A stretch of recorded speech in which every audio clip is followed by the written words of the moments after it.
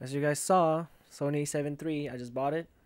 I'm scared because it's going to be a big learning curve for me. I've shot everything through Nikon, started with D3500, moved on past that, bought the Nikon Z50. Recently, I just did a senior senior session with this camera and did great. I loved it. I'm still getting good footage, good images on this camera.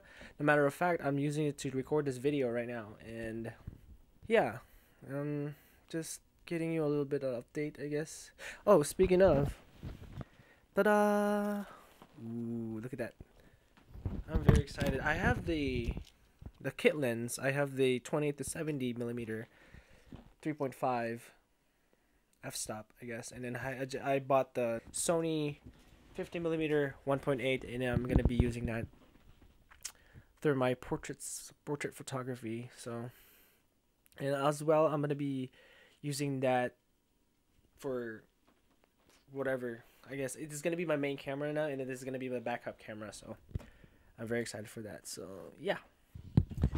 Whoa, whoa, whoa, whoa, whoa, whoa, whoa, whoa, whoa! Back up. I didn't give you a reason why I bought the Sony A7 III.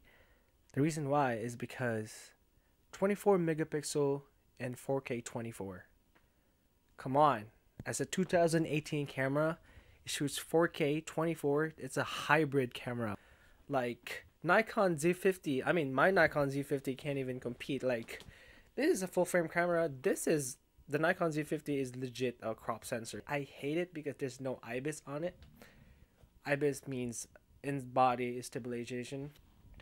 Yeah, I very excited. So with that being said, I'm just here to tell you that I just bought a new camera and show you my good B-roll I just shot and rant about Nikon Z50 not being a the camera, not being the camera that I wanted.